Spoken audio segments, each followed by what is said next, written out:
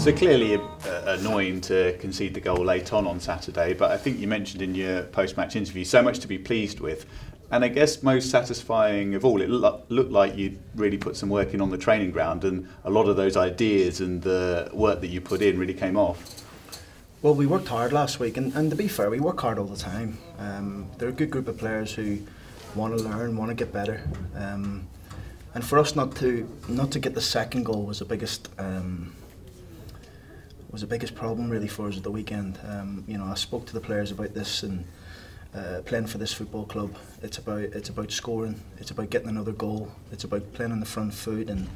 Um, and they and they're well aware of that. But we, we had opportunities, we had chan- we had chances, we had um, some really good uh, situations that we just couldn't quite get the ball in the back of the net for the second goal, um, and ultimately that cost us really.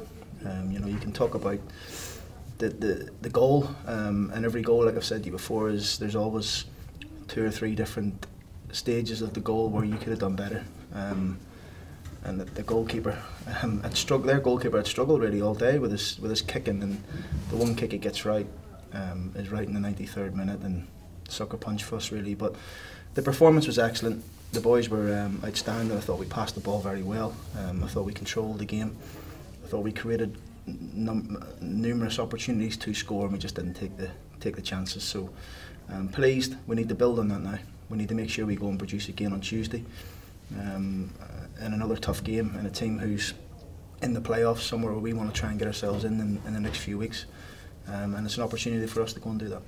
Yeah, and it sounded like after the game as well, you were really keen to make sure the players were well aware of that. Obviously, you take into account what hasn't worked for you, but equally, you wanted to make a big thing of. Yes, I was really pleased with a lot of that performance. Definitely, that's what I said to them. I said, you know, keep your heads up, um, because the performance was excellent, and a lot of, uh, you know, if you look through the team, the, I don't think there was a bad performance amongst them. I think they all put the shift in. They all worked hard. The energy was good. Um, I think this, the the way we played and the style of play suited us. Um, you know, we, we, we, we definitely deserve to win the game, and to come away from there as a sucker punch and um, people can say unlucky and things like that. I, th I think it's going to change though. You know, you do make your own luck, definitely. Um, and the tide's got to turn for us sometime, and we're hoping it's going to be Tuesday that we can we can get the, the right decisions in games, we can make the right decisions in games, and we can um, get ourselves into a a lead where we're not worried about what's going to happen if we concede. So um, it's it's very important for us to, to stay together now. You know, us, the fans, if everyone connected with the football club, and we will because there's only one way you, you get out of this league, um, and that's by doing that. So it's it's a, it's, it's going to be a big 16 games for us. Um, there's still going to be some ups and downs, um, but we want to try and get a consistent run together here and get ourselves back in and amongst it. Um, we're not far away. You know, we're not far away from it, and we're not far away from being a good team.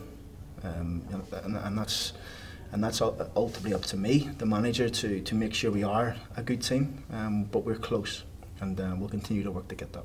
Yeah, and that, that's definitely the the way you see it. Uh, I guess you could look at a, a situation like on Saturday and think, well, game management over the final part of the game, we could really focus on that. But you see it as the, the posh way to go and get more goals. There's no point in, in doing things that are, are out of character, as it were.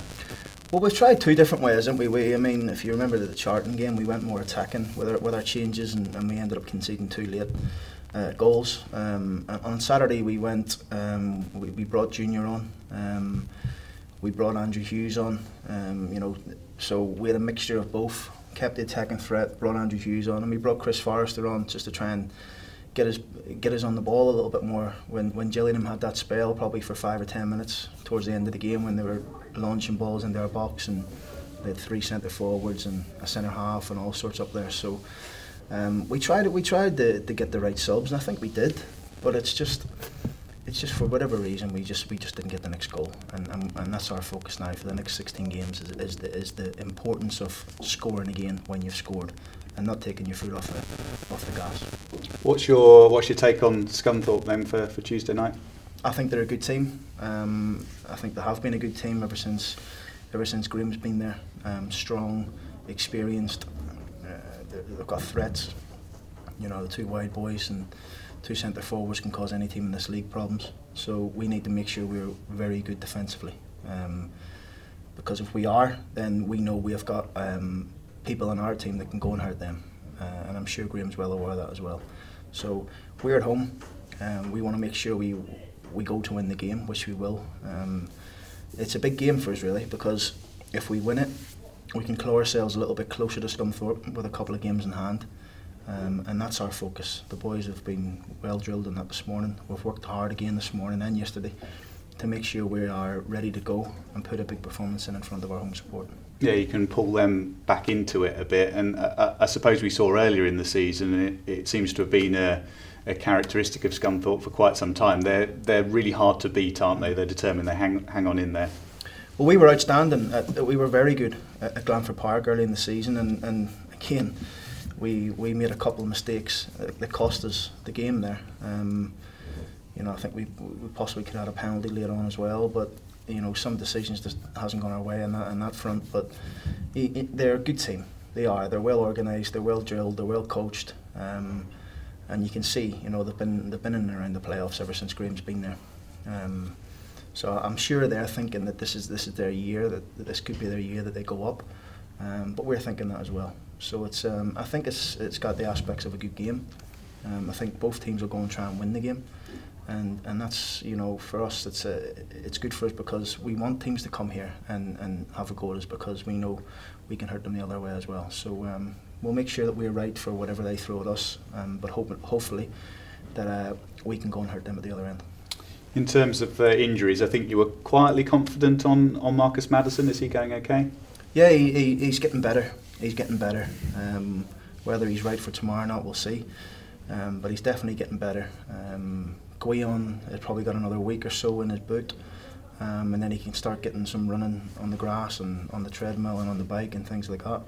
Um, Alex Penny will know more on Wednesday when he when he sees the consultant um, regarding whether he needs an operation or not. So um, yeah, it's it's looking likely he probably will, um, which is a blow for him because we felt uh, as a coaching staff he was he was coming coming on leaps and bounds. You know, he, he played well when he played in the team. One or two tricky games at the start, but got better and better.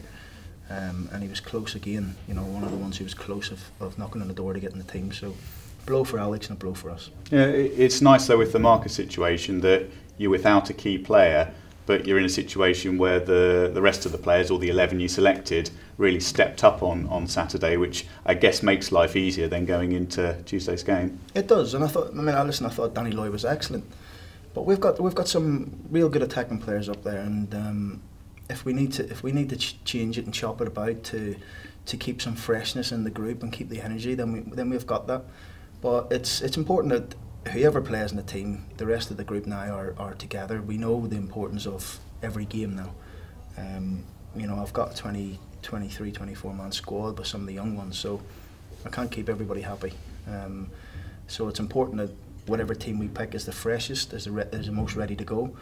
Um, and that's what way we'll be looking looking at Tuesday's game as well. Yeah, it's 12, 12 goals for the season now for Danny, and I guess it would have been unsettling for him when there was the talk about being on the transfer list and, and all the rest of it, but he's reacted in just the right way. And to step up from National League North to League One level and have 12 goals at this stage, that's a, a really good return. He has, and listen, Danny has probably surpassed what a lot of people thought he was going to do. Um, I, I knew what he could bring. Um, I think Danny's a confident lad. He knows he can come in and play in this league. Um, you know, and he's he's he's a breath of fresh air. Danny, he, he's so lively, so bubbly.